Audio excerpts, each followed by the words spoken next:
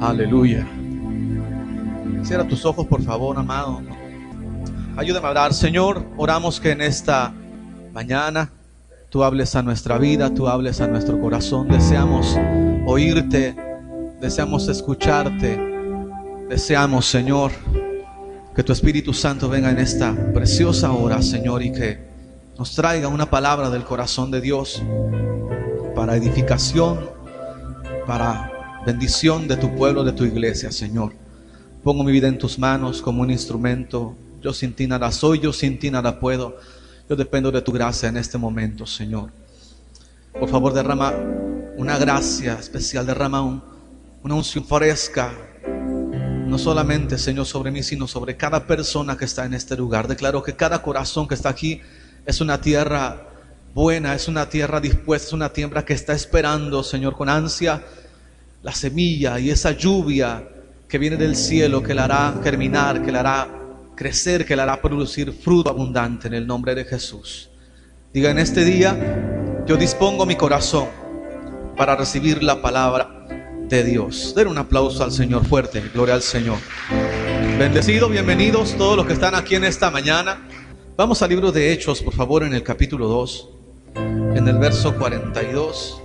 Y perseveraban en la doctrina de los apóstoles, en la comunión unos con otros, en el partimiento del pan y en las oraciones.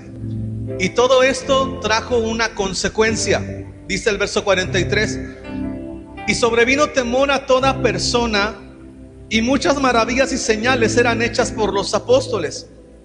Todos los que habían creído estaban juntos, diga conmigo, estaban juntos. Y tenían en común todas las cosas. Dice 45, y vendían sus propiedades y sus bienes y los repartían a todos según la necesidad de cada uno. Y perseverando un año cada día en el templo y partiendo el pan en las casas comían juntos con alegría y sencillez de corazón. 47. Alabando a Dios y teniendo favor con todo el pueblo. Y el Señor añadía cada día a la iglesia los que habían de ser salvos. Alguien diga gloria a Dios. Y es algo, mi amado, que yo no sé usted, pero que yo deseo ver en este tiempo. Que la gente de allá afuera, mi amado, tenga un respeto y una admiración por cada uno de ustedes. Porque saben que ustedes son diferentes, que ustedes son gente de Dios. Pero escuche, eso no lo van a notar con que usted cante, ni con que usted traiga su Biblia debajo del brazo. Hay algo que es clave y hay algo que es de suma importancia para que esto acontezca en este tiempo. Y yo creo, mi amado, las palabras de Dios cuando dice que la gloria postrera de la casa sería mayor que la primera. Y yo creo que la gloria postrera de la iglesia será mayor que la, que se manifestó en la iglesia del libro de los Hechos. ¿Cuántos lo creen conmigo? Gloria al Señor. Tenemos que recapturar, mi amado, los principios que llevaron a la iglesia del libro de los Hechos a ser una iglesia poderosa, a ser una iglesia exitosa. ¿Cuántos dicen amén? Y una de esas claves, mi amado, o dos de esas claves es algo que se llama constancia y compromiso. Diga conmigo constancia y compromiso. En el mundo secular abundan personas que han escrito libros, que dan conferencias de superación personal, que cobran una buena suma de dinero para darte a ti la clave de cómo tú puedes ser una persona exitosa. Y si en algo coinciden todos, mi amado, y que tratan de enseñar y de impartir en, sus cursos, en sus seminarios, en sus conferencias, es que el éxito, escuche, el éxito no es producto de la buena suerte, porque la suerte no existe. Diga, la suerte no existe, no existe ni buena suerte ni mala suerte. Lo que existe es la bendición de Dios. ¿Cuántos dicen amén? Y dice mi apóstol, yo me he dado cuenta, dice, si queremos hablar de suerte, dice que yo no creo en la suerte. Dice, yo me he dado cuenta que mi suerte aumenta cuando Dios me bendice.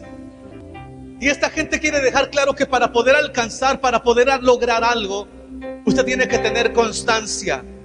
Dicho de otra manera, tiene que tener perseverancia. Tiene que ser una persona persistente, insistente. Alguien diga, gloria a Dios. Una persona que toca continuamente hasta que esa puerta se abre. Alguien diga gloria al Señor. Es que ya toqué una vez y no se me abrió. Pues quiere decir que no. No, mi amado, usted tiene que tocar hasta que la puerta se abra. ¿Cuántos dicen amén? Pero por alguna razón, un buen sector del cristianismo, de los llamados cristianos, piensan que por el simple hecho de ser cristiano, tienen asegurado el éxito sin ellos hacer absolutamente nada más que esperar a que éste se manifieste. Y esto es un gran error. ¿Cuántos me están escuchando? Si usted quiere tener una familia exitosa, si usted quiere tener un matrimonio exitoso, si usted quiere tener una empresa exitosa, y si yo como pastor quiero tener una iglesia exitosa, yo tengo que ser una persona perseverante. ¿Me está escuchando? Una persona perseverante y comprometida. Jesús dijo en Mateo 4, 24, 13, el que perseverare hasta el fin será salvo. Esto no se trata, mi amado, de, de un suceso en la vida. No se trata de una experiencia en la vida y ya recibí a Cristo, pum, ya todo. No, no, no. Se trata de perseverar. ¿Cuántos dicen amén? Cualquiera empieza, no todos terminan. Cualquiera puede ir, mi amado, ahí al registro civil y decir sí acepto. Pero no todos llegan al cumplimiento de esa promesa que se hizo hasta que Cristo venga o cualquiera de nosotros nos tengamos que ir. Se necesita compromiso, se necesita perseverancia. Y ahorita voy a, darle la clave. ¿Cuál es la clave del compromiso? Si usted quiere tener éxito, mi amado, en algo que quiere emprender, hay mayor oportunidad de darle al blanco mientras más veces intentemos. Mientras más vengas a la iglesia, mientras más ores, mientras más te llenes de la palabra, mientras más busques su presencia, apresurarás tu bendición, apresurarás tu milagro. Los grandes milagros que usted ve en la Biblia, mi amado, no son el resultado de la casualidad o de la espontaneidad. Los grandes milagros que pudo presenciar el pueblo de Israel fueron el resultado de años estar orando, clamando, suplicando, diciéndole, Señor, acuérdate de tu pueblo, acuérdate de nosotros, mira nuestra angustia, mira cómo nos oprimen, acuérdate hasta que un día, dice la Biblia, que Dios se acordó de su pueblo. Y va y llama a un hombre llamado Moisés y lo envía con una encomienda y le dice, vas a ir y vas a liberar a mi pueblo. ¿Cuál fue el resultado? Gloria al Señor, milagros espectaculares que el mar se abriera fue el resultado de un pueblo que perseveró en oración. Que a pesar de la servidumbre, que a pesar de, la dureza, del rigor con el que lo trataban los egipcios, nunca dejó de esperar la redención. Nunca dejó de creer que un día Dios los libertaría. ¿Cuántos dicen amén? Y tú no debes de descansarte, mi amado, de esperar que Dios se aparezca en tu vida. Gloria al Señor. Tienes que ser perseverante hasta ver la gloria de Dios. Tienes que ser como aquella viuda que venía con el juez todos los días a decirle, hazme justicia, hazme justicia. Sin importar el carácter que ese hombre, dice que ese hombre era duro y no temía a Dios ni temía a hombre. Pero esa mujer no se dejó, no se dejó detener por, por las apariencias. ¿Me está escuchando? Porque esta mujer sabía que había algo en la perseverancia. La Biblia nos sale una, una mujer sirofenisa, no era ni del pueblo de Dios, no era ni cristiana, por decirlo así, pero que vino donde Jesús y le dijo, Señor, sana a mi hija. Jesús le dijo, no puedo hacerlo porque yo no soy enviado sino a las ovejas perdidas de la casa de Israel. Señor, sana a mi hija y a la vez perseverante ante la negativa de Jesús. ¿Alguien ha sentido aquí que Jesús le ha dicho no? ¿Alguien ha sentido aquí que usted ora, ora y dice no? A esta mujer le dijeron, definitivamente no. Jesús no guardó silencio. Jesús no la ignoró. Definitivamente, ¿sabes qué? No. ¿Y qué hizo la mujer? Se quedó quieta, se resignó, se fue. Uh, yo pensé, yo creí, Señor, sana a mi hija que está atormentada por un demonio. Es que, dice Jesús, es que no está permitido, no es, no es bueno, no es justo que se le quite el pan a los hijos y se le dé a los perrillos.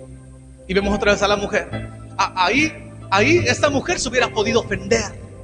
Me dijo perrilla. Algunos ofenden con menos. No me saludó. Nos vimos en la calle y no me dijo Dios te bendiga. El pastor no me visitó, gloria a Dios. Y se ofenden. A esta mujer le dijeron perrilla, pero esta mujer no se ofendió. ¿Sabe quién? ¿Quiénes son los que reciben milagros? Los que no se ofenden. Alguien diga, gloria a Dios. Así es que ahí está, ahí se la dejo. ¿Por qué no recibo un milagro, pastor? Está adorando. ¿Estás ofendido? Los que reciben milagros son la gente que no se ofende. Oh, mi amado, usted y yo tenemos que desarrollar esa invulnerabilidad y ser como Superman, gloria a Dios, que nos rebotan las balas, Así le manden un calibre 50 o con una bazooka, ¡pum! Es impenetrable. Usted tiene que ser así en la vida. Las ofensas no pueden dañarle los ataques, las críticas, los chismes, las murmuraciones.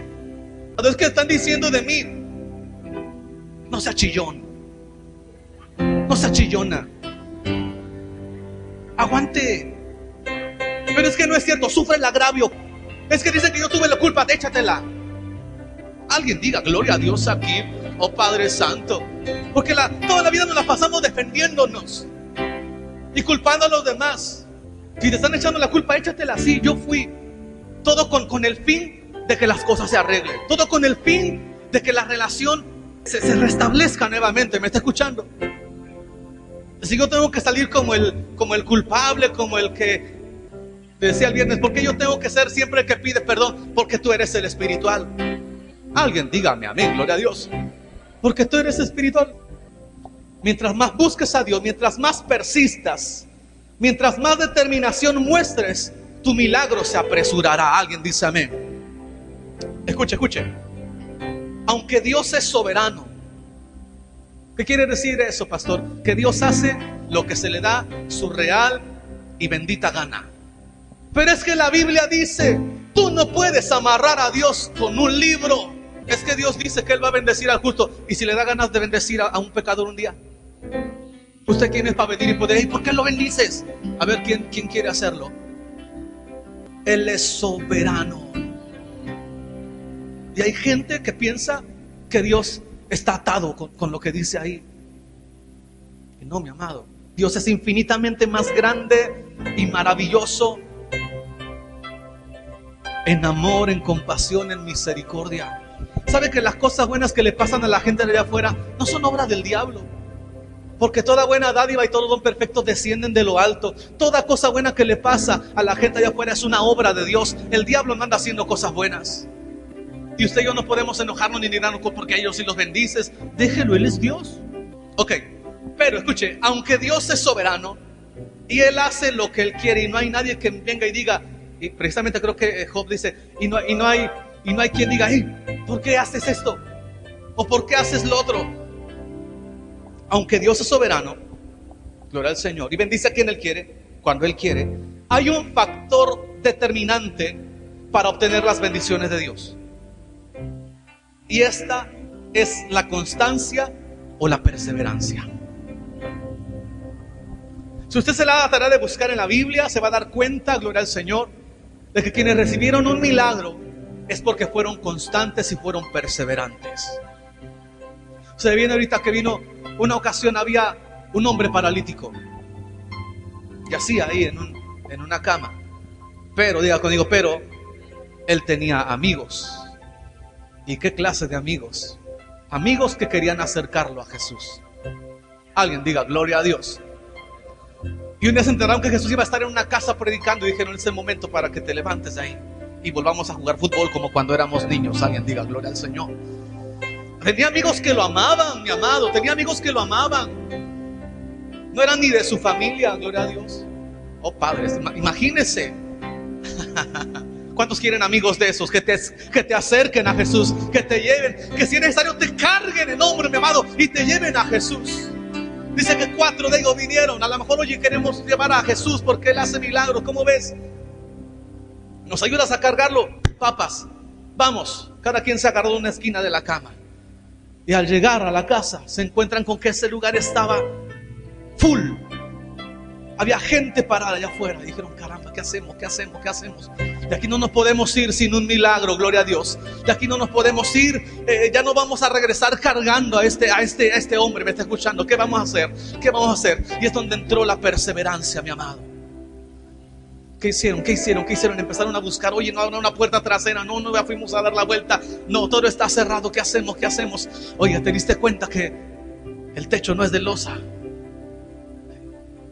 ¿A poco? Sí, fíjate, tiene palmas. Ya sé qué vamos a hacer. Nos vamos a subir. Consíguete unas cuerdas. Tú y tú súbete. Lo vamos a amarrar y lo vamos a trepar. Y vamos a ir y lo vamos a llevar con Jesús. Y la historia dice, mi amado, que los hombres abrieron el techo de la casa. No le importaron, no les importó si se iban a meter en problemas legales con el dueño de la casa. Enfrentar tal vez una demanda, alguien diga gloria a Dios, por daño a propiedad ajena. Ellos querían ayudar a alguien que ellos amaban. Fueron, abrieron el boquete y bajaron a ese hombre colgado en unas cuerdas. Lo ponen precisamente enfrente de Jesús. Yo imagino que si, alguien se sube al techo, es, es, este, es imposible que no lo percibamos. Y de repente nuestra amiga la iguana pasa corriendo por aquí, todos voltean, ¿verdad que sí? ¿Cuántos la han visto? Esa no falta a los cultos, la primera que llega, gloria a Dios. Entonces, era, era, era imposible que Jesús y que la gente que estaba reunida no se diera cuenta que alguien venía caminando por el techo. A lo mejor algunos empezaron a hacer a un lado por si aterrizaban ahí. Pero llegan hasta donde está Jesús. Y imagino a Jesús levantando su mirada con una sonrisa en sus labios, diciendo, aquí hay gente que tiene fe. Alguien diga, gloria a Dios. Aquí hay gente que tiene fe, gloria al Señor. Al hombre ante el asombro de las personas y, y ante la alegría de Jesús. Al ver, mi amado, el amor con el que estos hombres estaban trayendo a esta persona. Lo bajan y Jesús lo sana. Sin antes decirle tus pecados te son perdonados. ¿Qué fue lo que dio lugar a ese milagro? La perseverancia de cuatro hombres. ¿Y quién dice, mi amado, que si tú no perseveras en lo que tú quieres y en lo que le estás pidiendo a Dios, ¿quién te dice que Jesús no te lo va a dar? ¿Me está escuchando?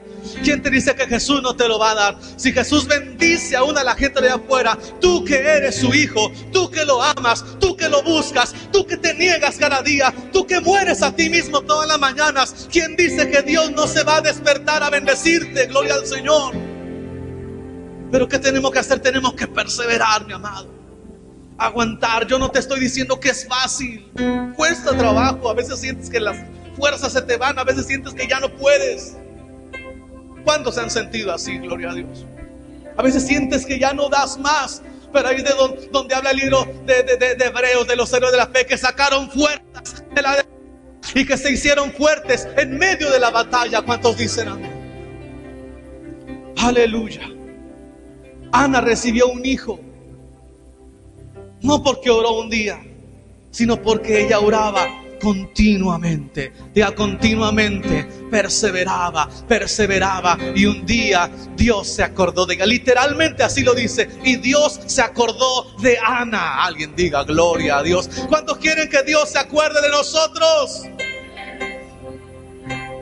Pero hay algunos que hace tiempo que ni le hablan. Gloria al Señor. Dile, Señor, acuérdate de mí. La Biblia nos habla de un hombre llamado Usías y su historia me impacta. Fue un rey Vamos a verlo. Segundo libro de Crónicas, en el capítulo 26, verso número 3. Lo tiene, dice la palabra, de 16 años. ¿Cuántos años tenía? 16. Era un muchacho. ¿Dónde están los muchachos? ¿Dónde están los jóvenes? Ayer tenemos un servicio hermoso, maravilloso. Amén. De 16 años era Usías cuando comenzó a reinar y 52 años reinó en Jerusalén.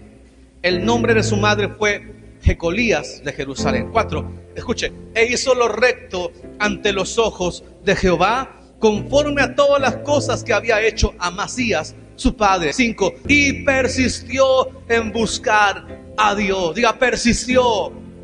Diga conmigo, persistió perseveró y persistió en buscar a Dios en los días de Zacarías, entendido en visiones de Dios. Escuche, y en estos días en que buscó a Jehová, Él le prosperó. Alguien dígame.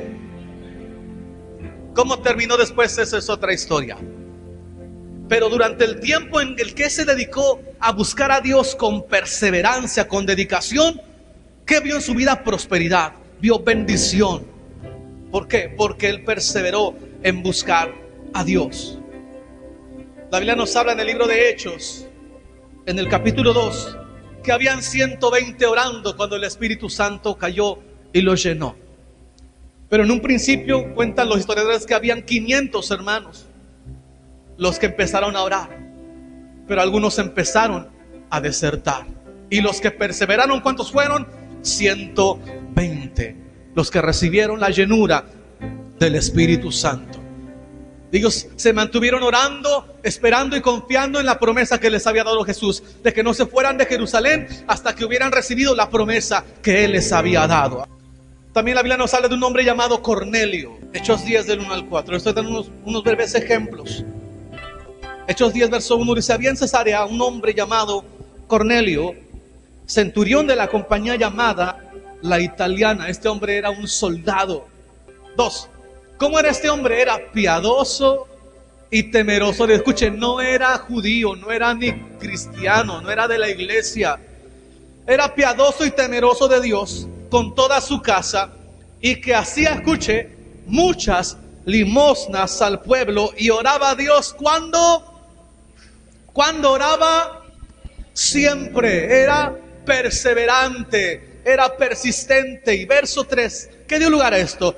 Este vio claramente en una visión como a la hora novena del día que un ángel de Dios entraba donde él estaba y le decía, Cornelio, ¿verdad? Y le dice, va a traer un hombre llamado Pedro, él te va a decir lo que tú tienes que hacer.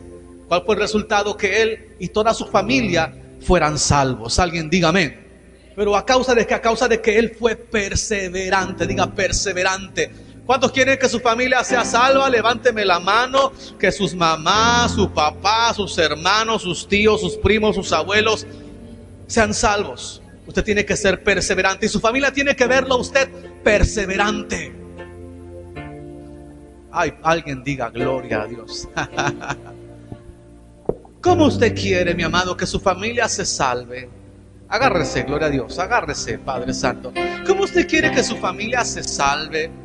Si usted deja su servicio a Dios por irse a cualquier fiesta de su familia, yo sabía que usted no me iba a decir amén. Es que así me los voy a ganar, usted no se va a ganar nada. Es que van a decir que qué apartados, que qué cortados, que...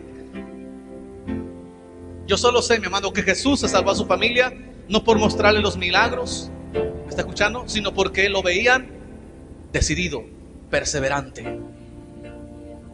No se dejaban manipular ni por su mamá ni por sus hermanos. Oh Padre, bueno que no hay ningún católico aquí, ¿verdad? Porque si no me, me piensan que Jesús estaba así, a la voz de su mamá, está equivocado, está completamente equivocado. ¿Sabe cómo llamaba Jesús a María? Mujer.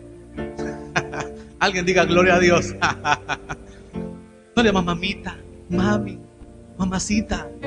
Eso se lo inventaron los, los, católicos. Le llamaban mujer. Cuando están en la boda y le dicen, Jesús, ya no hay vino. ¿Qué quieres conmigo, mujer? Alguien diga, alguien diga, gloria a Dios, oh Padre Santo. Yo sé que su familia usted la carga aquí, yo lo sé, yo lo sé, pero es una realidad. Si usted quiere que su familia se salva, ellos tienen que ser impactados con tu perseverancia y tu determinación. Que digan, ah, caramba, ahora sí va en serio esta, esta mujer, este hombre. De veras está buscando a Dios. Antes te acuerdas que lo invitábamos y aunque iba a la iglesia, de repente se echaba una. La invitábamos a bailar y todavía se bailaba alguna. Esto no me hace muy popular, gloria a Dios. Pero usted tiene que ser determinante. Ay, es que estoy orando por. Es que yo no sé por qué mi familia no quiere venir. Yo no sé por qué no quieren recibir a Cristo. A algunos parece que ni siquiera lo han recibido tampoco. Pero toda la familia de Cornelio se salvó. A mí me sorprende porque, escucha, a mí me sorprende porque el ángel le dice a Cornelio, manda llamar a Pedro, está en tal lugar, él te va a decir lo que tienes que hacer. Pero Cornelio lo estaba esperando con, con una impaciencia y se dio a la tarea de invitar a toda su familia. Cuando llegó Pedro a la casa de Cornelio, ese lugar estaba lleno. Estaban sus papás, sus hermanos, sus tíos, sus primos, sus abuelos.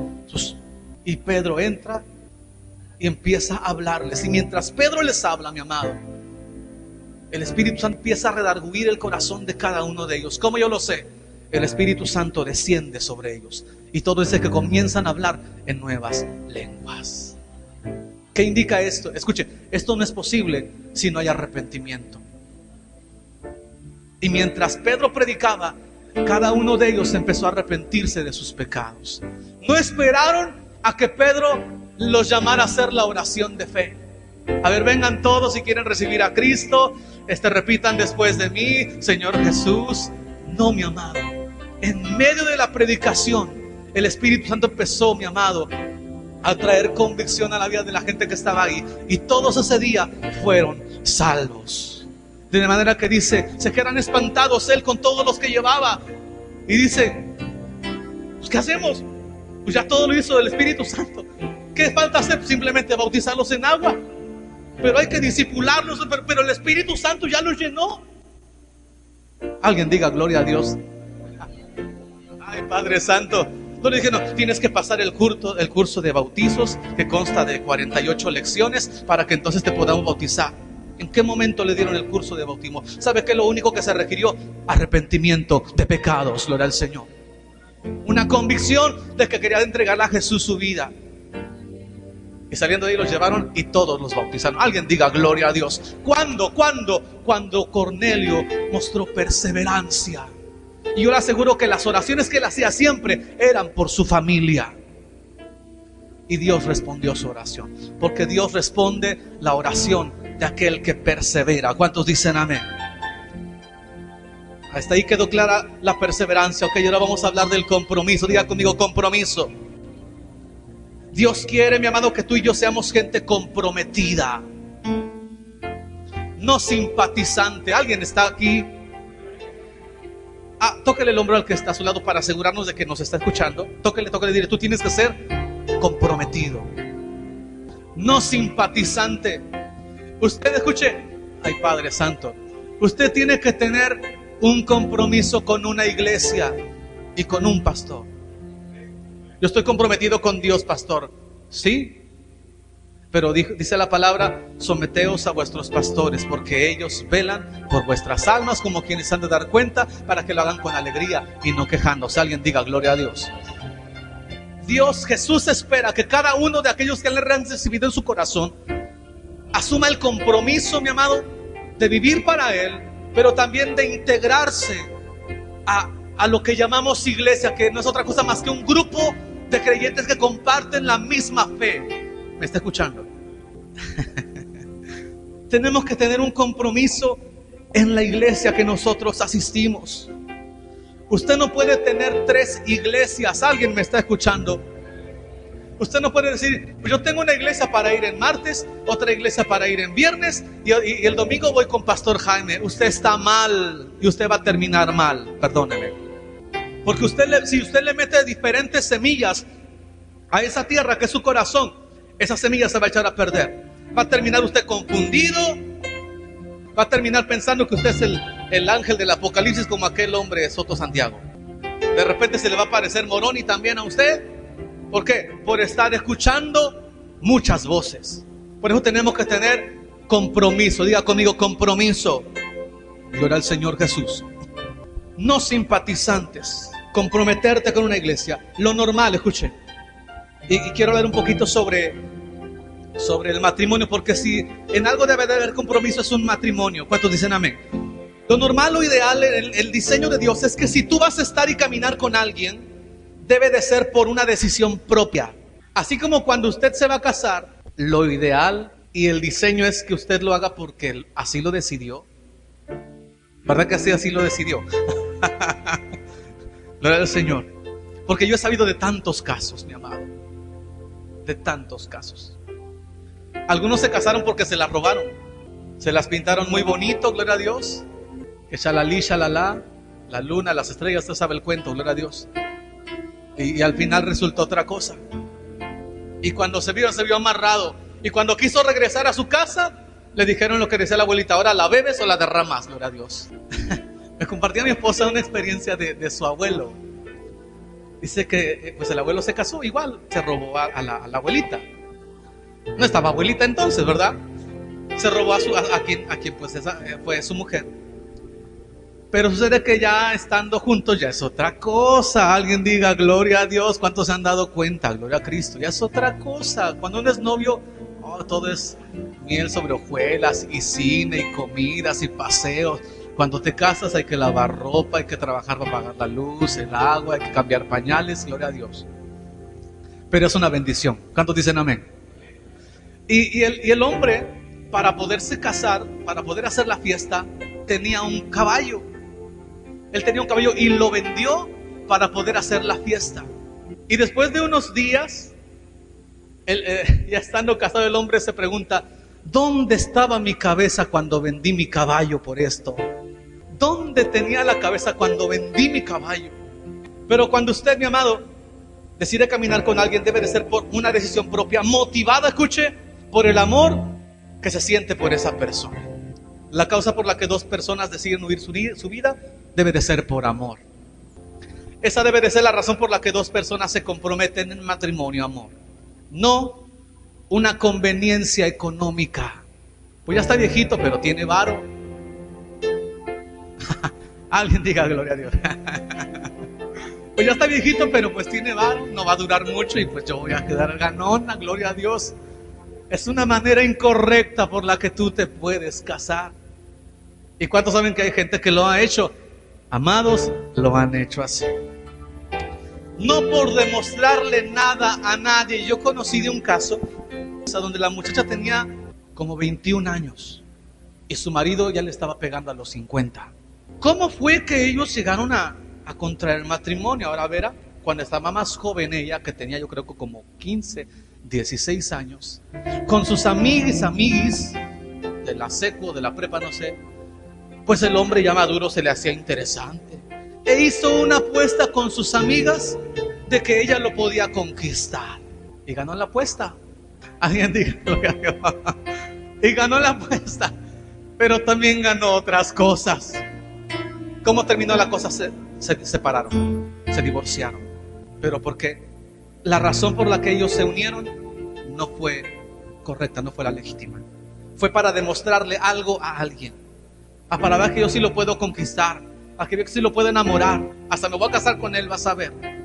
Cuidado, no sabes en la que te estás metiendo.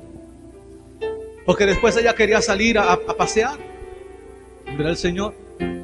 Y él se quería quedar en la casa. Ya casi 50 años. Ella quería ir a nadar, ella quería ir al cine. Y él no, él quería llegar a sentarse a ver la tele. Alguien diga, ay, ay, ay, oh, gloria a Dios. ¿Dónde está la iglesia? Ya se me fueron los hombres. ¿Dónde están los hombres? Gloria a Dios. Hagan lo posible por no envejecer. Yo sé que es inevitable que salgan las canas, pero ahí hay remedios, hay just for men y no sé qué tanta cosa. Okay. Pero no me refiero tanto a eso, sino que su espíritu no se haga viejo. Manténgase siempre jovial y alegre. Aunque le salgan más arrugas, gloria a Dios. Ahí pídale a su esposa que le regale un poquito de sus cremas. Digan amén las hermanas. Digan amén. Dile si te voy a regalar de mi crema. Dile, pero yo te quiero ver alegre, te quiero ver sonriente. Gloria al Señor. Aleluya. Escuche, tampoco podemos, tampoco podemos comprometernos con alguien por un despecho. Como fulano me dejó, ahora para que sienta feo, me voy a casar con su tano. También yo sé de un caso así. Como fulano no me hizo caso, entonces yo me caso con él, que me está insistiendo desde hace tiempo y no lo quiero, pero para que él sienta feo, me voy a casar con él. ¿Dónde están los jóvenes, las jovencitas? No vayan a hacer eso, por favor, porque lo único que les espera va a ser una vida de sufrimiento al lado de un hombre que ni siquiera ama ni aprecia. Se fueron los jóvenes. una deuda. Es que Él me ha ayudado mucho. Es que Él ha visto por mí. Siempre me ha apoyado y pues me siento en deuda y pues le voy a decir que sí. No lo haga por una deuda. Ni por pensar, jovencitas, que es una salida al yugo opresor de tus padres. Que te dicen, lava los trastes. Que te dicen, lava tu ropa. Que te dicen, apréndete a hacer unos blanquillos, gloria al Señor. Alguien está aquí. Y llega el otro fulano a decirte, no, yo te voy a poner chacha. Tú no vas a hacer nada. Vamos a comer gancitos con Coca-Cola. ¿Y qué haces? Ay, sí, huyámonos. Y se va y se da cuenta, mi amado, que salió de Guatemala para entrar a Guatepeor. Que antes si quería a lo mejor lavaba una vez. Ahora no, ahora tienes que lavar. O si no, tu papá antes te daba a lo mejor con el cinturón, pero este te da con el puño cerrado.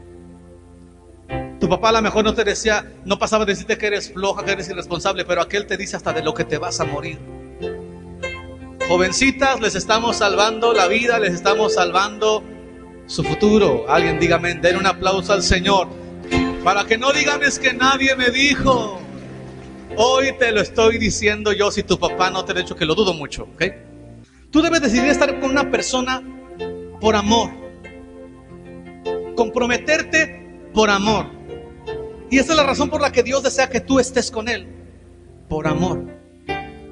No por un beneficio económico. Y esa es la razón por la que tú también tienes que estar en una iglesia comprometido. ¿Por qué? Por amor. Usted tiene que estar aquí por amor. Uh, paso, pues yo vengo aquí porque pues es la que me queda más cerca. Alguien diga, ay, ay, ay, oh, gloria a Dios.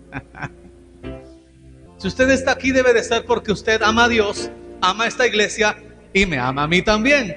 ¿Cuánto me aman? Gloria a Dios. Aleluya. Si tú has decidido estar en esta casa debe de ser por amor a Dios, por amor a estos hermanitos que están aquí y por amor a tus pastores. Porque escuche, del amor viene el compromiso. Diga conmigo, del amor viene el compromiso. El que ama está dispuesto a comprometerse, a dar su palabra. No debes de permanecer en un lugar, escucha, porque te tienen amenazado de que si te sales, te vas en rebeldía y te vas en maldición. Cuando entramos al ministerio Maranata con Pastor Martín González, él, él ya tenía una iglesia, ya tenía una, esa, esa palabra membresía, ahorita vamos a hablar de la membresía, gloria a Dios. tenía buena asistencia a su iglesia, pero ellos carecían de una autoridad espiritual que los estuviera más que supervisando, que estuviera cuidándolos. Necesitamos ser cuidados y apoyados, aconsejados, que oren por nosotros, que nos ministren la palabra y no lo había. Entonces empiezan a buscar, se encuentran al apóstol Naun Rosario, y se toma la decisión platicando con toda la iglesia. Claro, entregando la iglesia. Se tomó la decisión. Pastor salió a empezar un lugar y por consiguiente los que se quedaron empezaron a decir que se habían ido en rebeldía satánica y que nos habíamos ido en maldición.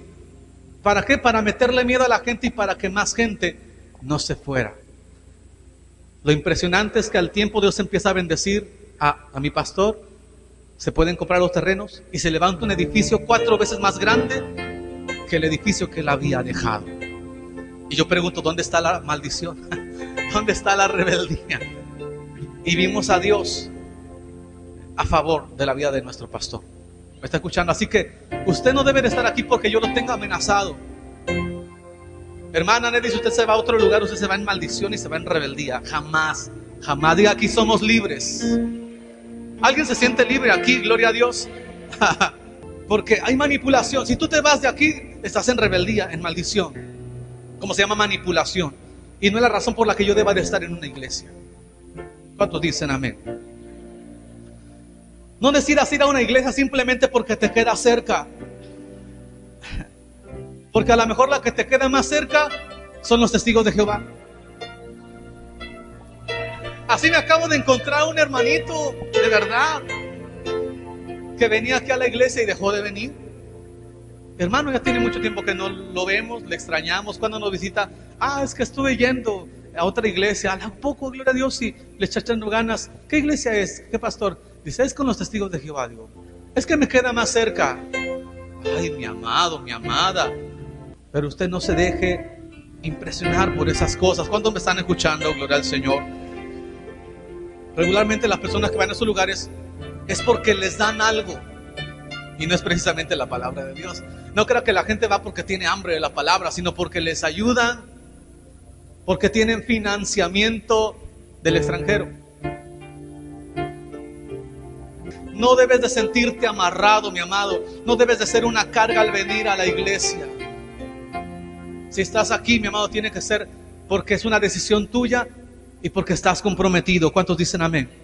En esta iglesia, escuche, no debe de pasar cierto tiempo si tú vienes llegando, cierto tiempo de prueba y someterte a una serie de regulaciones y normas para entonces aceptarte como miembro de la iglesia y darte la membresía. Hermano, usted quiere ser parte de nosotros y que lo reconozcamos como parte de, tiene que esperar un año para que le demos su membresía. Alguien diga, gloria a Dios. Primero tráigame su carta pastoral, la cual vamos a leer a oídos de toda la iglesia. Alguien diga, ay, ay, ay, gloria a Dios. Así que ganas me dan de ir a buscar otra iglesia. Vengo apaleado, vengo aporreado, vengo defraudado, decepcionado de otro lugar, para que el primer día me expongan a la, a la opinión pública de toda la gente. Y Jesús no es así. Yo dije, Jesús no es así. Entonces ya te vamos a dar tu membresía. Pues que somos club deportivo qué. Yo no sé, mi amado, de dónde sacaron eso los pastores. ¿En qué parte de la Biblia dice eso. ¿Sabe qué es lo que yo encuentro? Lo que dice Jesús, al que a mí viene, yo no lo echo fuera. Ay, gloria, alguien diga, den un aplauso al Señor. Yo creo que eso merece un aplauso, gloria a Dios.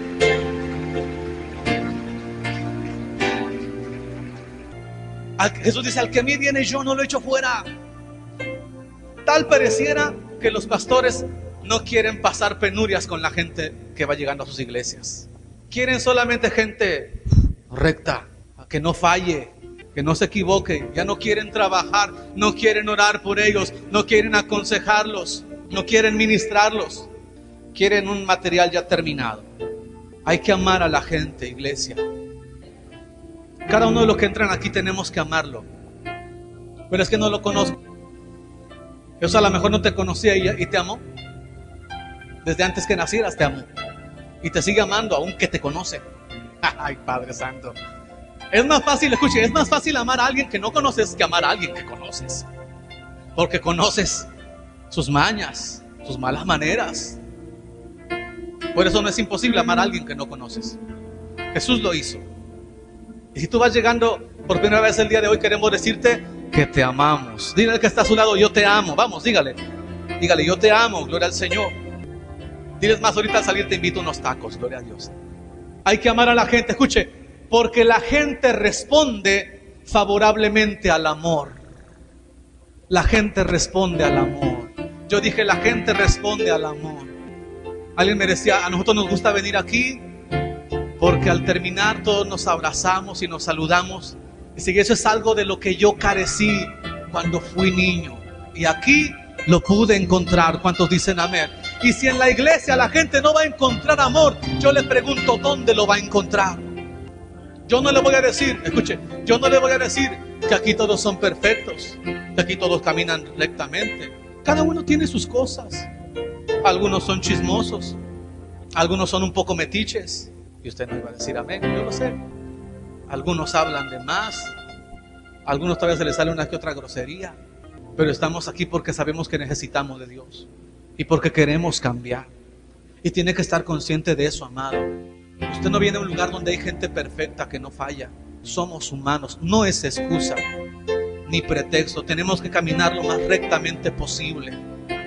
Y no por, no por, no, no por cumplir con las exigencias de una, de una denominación, sino por no defraudar el amor que Jesús tiene por nosotros. ¿Alguien me está escuchando? Esa debe de ser la razón principal por la cual nosotros debemos de buscar cada día la santidad porque el pastor se enoja. A mí qué me interesa que el, en qué me perjudica que el pastor se enoje. ¿Me voy a quedar sin comer si el pastor se enoja conmigo? No. Pero yo puedo estarme alejando de Jesús. Y el estar alejado de Jesús es lo peor que le puede pasar a un ser humano. Un sentimiento de soledad, de vivir siempre ansioso y preocupado, angustiado. Esa vida no es vida. La vida es tener a Jesús dentro de tu corazón. ¿Cuántos dicen amén? Ya estoy terminando, gloria al Señor. Escuche lo que le voy a decir. El amor puede hacer lo que años de adoctrinamiento y seminarios no pueden hacer. Lo puede lograr qué cosa? El amor.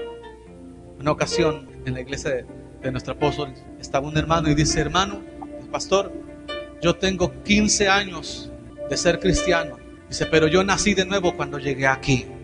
Y cuando conocí el verdadero amor de Jesús, lo que yo tenía era religión. Lo que yo tenía era, eran normas. Y lo que me ha cambiado es el amor de Jesús. Lo que te puede cambiar es el amor de Jesús. Lo que puede cambiar tu familia es el amor de Jesús. ¿Cuántos dicen amén? Alguien que ama iglesia se compromete. No lo duda no lo piensa. Cuando yo me casé, me casé por amor. Y tanto amaba a mi esposa que decidí casarme con ella. Decidí mantenerla y trabajar y hasta aquí nos ha traído el Señor. Que sí, ha habido sus detalles, ha habido problemas, ha habido fricciones, ha habido diferencias. Pero lo que nos ha ayudado ahí en esos momentos ha sido el amor de Dios. ¿Me está escuchando? El que ama está dispuesto a poner todo de su parte para arreglar el barco si éste se encuentra en problemas. El que ama y está comprometido no se brinca del barco, se queda. Dile a tu hermano, quédate en el barco. Vamos, dígale, quédate en el barco. en este barco, Maranata han pasado muchas cosas. Y muchos han brincado del barco. Y otros han decidido quedarse en el barco. Y le digo una cosa, este barco Parecía que a lo mejor se iba a hundir, pero este barco sigue a flote, gloria a Dios. Y a puerto seguro, gloria a Dios. ¿Por qué? Porque hemos puesto de nuestra parte para arreglar el barco, para que este no se hunda. Entonces, entonces, ¿por qué algunos se han ido de la iglesia? ¿No tenían amor?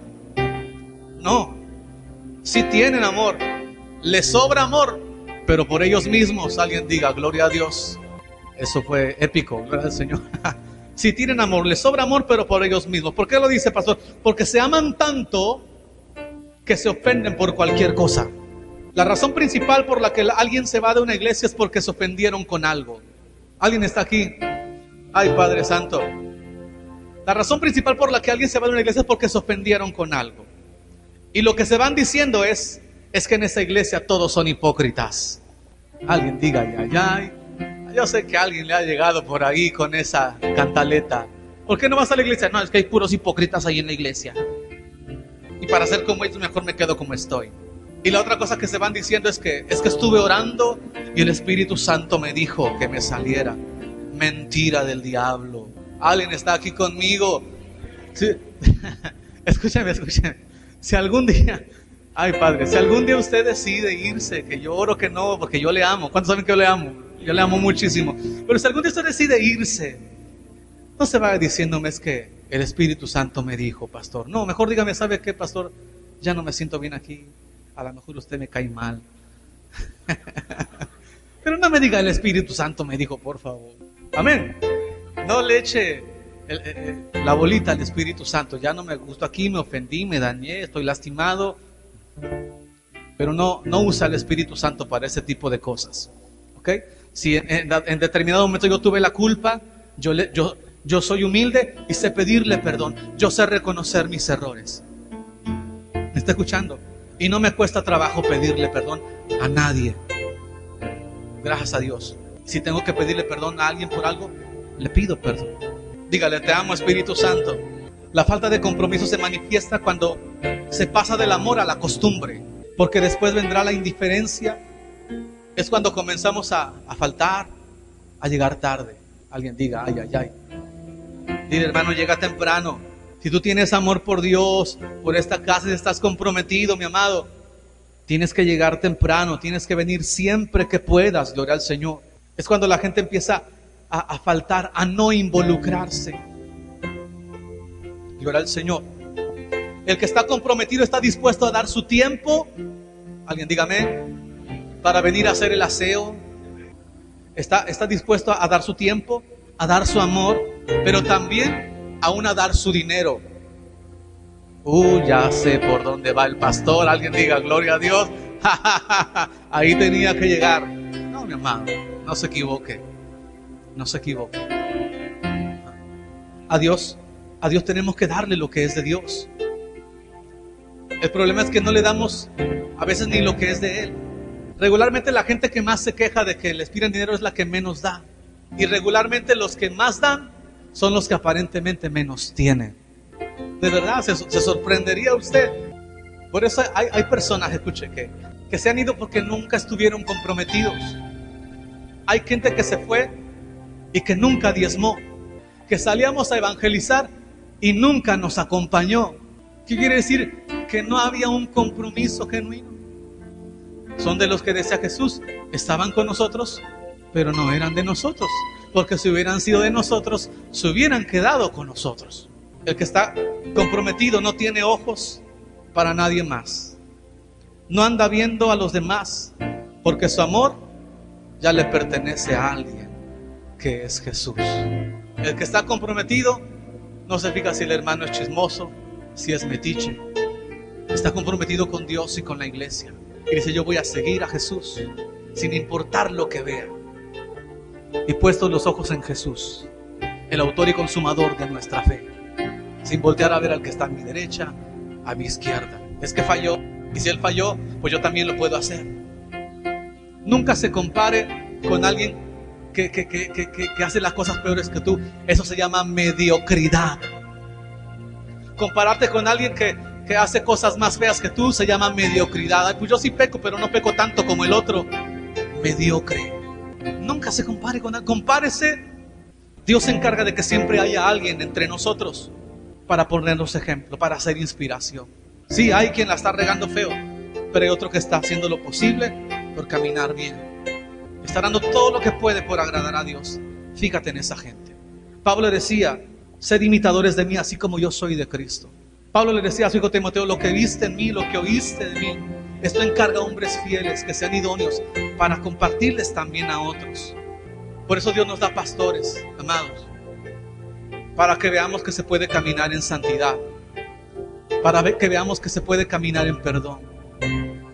¿Cuántas cosas no ha aguantado mi pastor? Y yo no puedo decirle por eso que, que no se puede perdonar, porque yo lo he visto en él.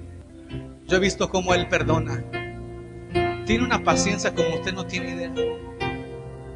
Hay cosas de las que yo de repente me entero que están haciendo allá. Y yo digo, si yo estuviera allá, yo ya los hubiera corrido. Pero él los está ahí aguantando, aguantando. Y si usted me ve a mi paciente, él es más. Tengo buena escuela, gloria a Dios. Póngase de pie. Tenemos que salir en este día de este lugar, mi amado, determinados y también comprometidos a hacer la voluntad de Dios.